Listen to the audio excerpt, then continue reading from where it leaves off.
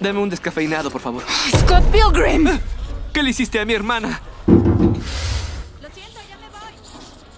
¿Y qué te sirvo? ¿Hay un lugar donde no trabajes? Se llaman trabajos. Algo que tú nunca sabrás. Y por cierto, me vale que se lo pidieras a Ramona cuando te dije que no la también con eso. ¿Cómo haces eso con tu boca? No me no te interesa. ¿Qué tienes que decir a tu favor? Quiero un maquieto con caramelo.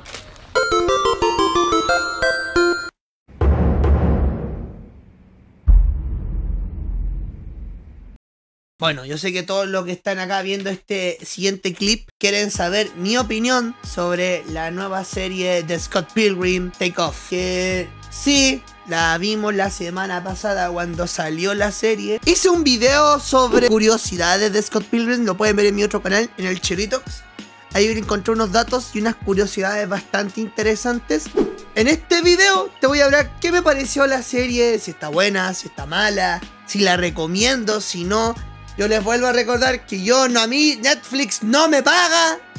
Tampoco no me paga ninguna persona, así que todo lo que voy a decir es mi humilde opinión de un VTuber que nadie lo ve.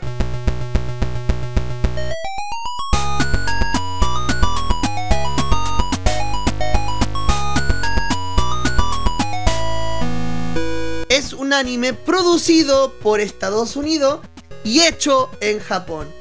El estudio Saru, un estudio muy respetado del anime, especialmente que ha hecho obras muy buenas como Take Han Eisuken. Y también hicieron eh, Dayman Cry Baby. Se encargaron de adaptar el cómic de Scott Pilgrim. Pero ellos simplemente se encargaron de hacer la animación de, este, de esta serie. Pero toda la producción, el guion, los storyboards lo hicieron Estados Unidos y especialmente el staff americano. Ahí estuvo metido el creador de Scott Pilgrim, el director Edward Wright, algunos guionistas que participaron en la película y obviamente la participación del elenco de la película de los 2010 volvieron a redactar este cómic. Scott Pilgrim estaban todo el mundo esperando, incluyéndome, claro. La película del 2010 es considerada por muchos una joya audiovisual de la década pasada. El creador del cómic, el director de la película y el staff de los actores volvieron. Tiene la producción. ¿Qué me pareció todo esto? Porque sí, Scott Pilgrim generó mucha polémica, mucho debate. Cuando salió la serie, las primeras reacciones de la gente fue decepcionante. Me acuerdo que Twitter estuvo muy ah, decepcionado por esta serie porque querían ver una readaptación del cómic más fiel eh, en formato anime. Porque estábamos acostumbrados últimamente por medio del anime de ver todas las series o ver los animes que sean fiel al material original. Aquí no pasa lo mismo. Esta, esta serie no es fiel para nada al cómic, sino que todo lo contrario. Es una readaptación al cómic y a la película. Entiendo a la gente que está molesta por eso, porque muchos estaban esperando el remake de la serie, pero al mismo tiempo me alegró muchísimo, creo yo. Eso es lo mejor que tiene esta serie. Obviamente, si tú no has visto la película del 2010 o no te has leído los cómics, hazlo inmediatamente. Tal vez no te va a generar tanto interés o vas a estar más perdido, pero si tú consumiste la película y los cómics, amarás todos los detalles que tiene esta serie los personajes, las situaciones que suceden ahí. Pilgrim Takeoff es un what if. ¿Qué pasaría si Scott Pilgrim pierde el primer combate con el primer ex novio de Ramona Flowers? Ahí en la serie donde se desarrolla todo ese momento cuando Ramona Flowers tiene que saber qué pasó, por qué Scott Pilgrim perdió y tiene que indagarse a este complot que tienen contra Scott. Una serie muy interesante donde los personajes secundarios se destacan mucho más Ramona Flower, los ex, incluso personajes tan pequeños como la, la novia asiática de Scott Pilgrim se, también se gana su participación y también tiene sus momentazos.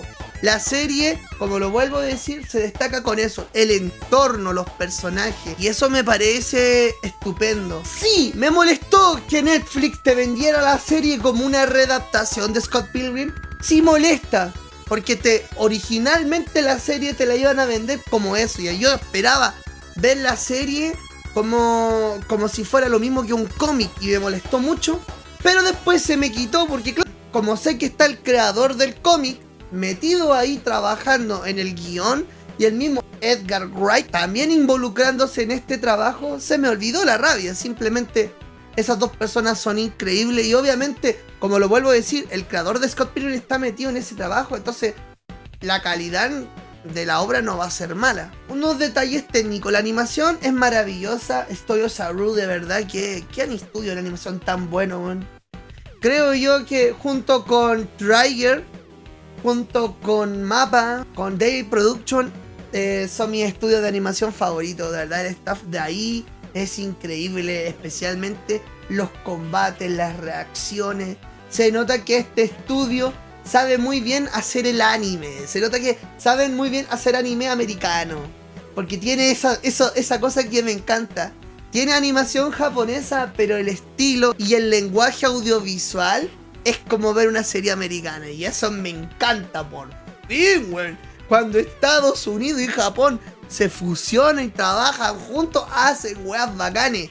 Los gringos hacen los guiones y los japoneses hacen la animación. Y eso les sale excelente. Ojalá, ojalá en el futuro esto sea un estandarte. Que Japón más trabaje con Estados Unidos. Me encantaría ver muchas series o muchos cómics en formato anime. Yo creo que Japón se destaca mucho por la animación. Voy a decir algo muy funado. Perdón, voy a decirlo. Pero yo siento que actualmente el anime se está destacando más por la animación que por la escritura. Pero los gringos saben muy bien escribir y crear una historia, pero no son tan buenos haciendo animación.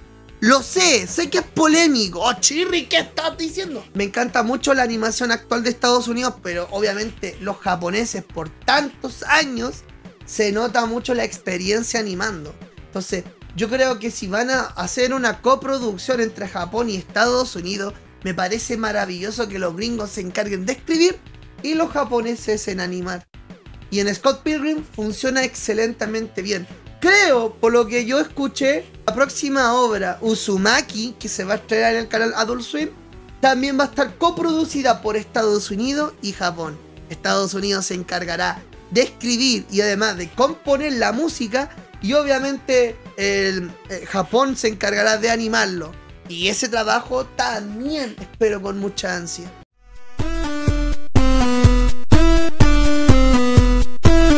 Anamaguchi. Y ellos me encantan. Estos tipos se encargan de hacer canciones con estilos retro. Una especie de música retro ochentero con, con temas del NES y del Game Boy. Y eso encaja perfectamente con Scott Pilgrim. Si alguno de ustedes han jugado el maravilloso juego de Scott Pilgrim, que está disponible en todas las plataformas de videojuegos, lo que mucho nos, nos encanta de ese juego es la música. Y obviamente es maravilloso volver a escuchar a esta banda componer canciones. Bueno, de verdad, estos tipos, para mí, Scott Pilgrim la música de Scott Pilgrim debería siempre trabajar ellos. Además de esto, también tenemos que destacar a Joseph Trapense. También es un compositor bastante conocido porque le ha hecho películas, eh, trabaja también haciendo series. Él también hizo, bueno, para los que son como medio cinéfilos, yo les puedo decir que él trabajó haciendo la composición musical de la película Tron Legacy. También hizo Percy Jackson, trabajó en la serie Dexter y aquí también él estuvo trabajando junto con Aramaguchi, perdón por mi, dislexia moment, haciendo la música y un deleite musical. De verdad que cada canción que tiene ese, ese anime, no, sé qué decirle si es anime o serie. No vamos a decir anime porque de verdad tiene mucha más apariencia de anime. Les quedó maravilloso. Ahora, hablemos con el doblaje. Yo la vi dos veces la serie. La primera la vi en, directo con el doblaje latino.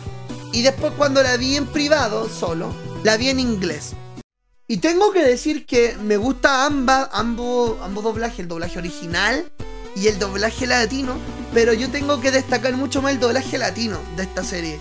Porque, a ver, los actores como Michael Cera, como Mary Elizabeth Winstead, claro, la actuación de ellos en la película es increíble, se nota que les dan un encanto pero en, el doblaje como que su actuación era un poco más tranquila, no era tan, por ejemplo, no sentí tanto esa chispeza que tiene Michael Cera en la película. Aquí se siente como que Michael Cera lee diálogo y su actuación está como ahí, ¿cachai? A veces le pone empeño, ah, le da como su toquecito, pero le faltó un poco más. Tengo que decir que Brie Larson y Brandon Road me encantó. La en eso en el doblaje en inglés se destaca muchísimo. Igual que Chris Evans, de verdad, wow, Chris Evans, de verdad, actor, actor de doblaje debería serlo, bueno, es muy bueno interpretando a su personaje. También tengo que decir que, Wallace, el actor que hace el, el personaje de Agua, el hermano de, de mi pobre angelito, también le sale harto bien el, la actuación, pero el doblaje en inglés, mm, no sé. Yo lo sentí más como un anime doblado por Estados Unidos. Ustedes saben que a mí no me gusta esa weá. Yo de verdad que detesto el anime, el anime doblado por los gringos, porque o son muy exagerados, o a veces las actuaciones son insípidas. Pero el doblaje latino se lleva mucho mi respeto. De verdad que, wow, increíble la actuación, el, el, el cast, porque el cast latino volvieron todas las voces de las películas. Hubieron algunas excepciones, sí, pero la mayoría de los actores le da un encanto, le da su emoción a los personajes. Eso me encanta. Lalito Garza ahí también le dio mucho, mucha personalidad a su a Gideon. Obviamente a la voz de Scott Pilgrim latino. También a la voz de Ramona Flower. Se nota que le dan mucho más empeño a estos personajes. Y eso me alegra mucho. Así que después de todo esto, mi veredicto final. Recomiendo Scott Pilgrim Takeoff. Disculpen, tengo que detener este extracto porque antes de continuar con este hermoso video, tengo que agradecer a todas las personas que me ayudan a estar acá haciendo stream, a todos los miembros de YouTube. De verdad, se los agradezco muchísimo todo el apoyo monetario que ustedes me dan, todos los miembros y todos los super chat y también los super gracias. De verdad, los quiero mucho y obviamente este clip es para ustedes. Y bueno, después de ese regaloneo, continuemos con el video. Sí, obvio que sí. Obvio, no. Bueno, de verdad, tienen que ver esa serie, loco. Tienen que verla. Tienen que verla. Como yo también les dije, les recomiendo mucho que vean Pluto. Y ahora, y yo estoy 100% seguro que Pluto es uno de los mejores animes del año, también les puedo recomendar felizmente Scott Pilgrim Takeoff. Ahora, datos antes de verla. Tienen que ver la película o tienen que leerse el cómic. Tienen las dos opciones. Las dos opciones son la película. Si a los que no quieran leerse los cómics, la película te lo resume muy bien. Todo el cómic es entretenida la película. Y obviamente, como les vuelvo a decir, si ya vieron la película, la serie la van a disfrutar y la van a poder entender. Y como lo dije, lo recomiendo muchísimo. ¿Uno de los mejores animes del año? Sí, obviamente. Netflix este año lo hiciste muy bien con dos buenas animes. Bueno, de verdad, de verdad, que me gusta mucho como está haciendo Netflix. Primero es Pluto, que ya pronto hablaré de Pluto. Y Scott Pilgrim, lo mejor de este año. Así que véanlo, se los recomiendo, es lo mejor que pueden ver. Así que eso, la VTuber con pene termina acá su clip. ¡Ah!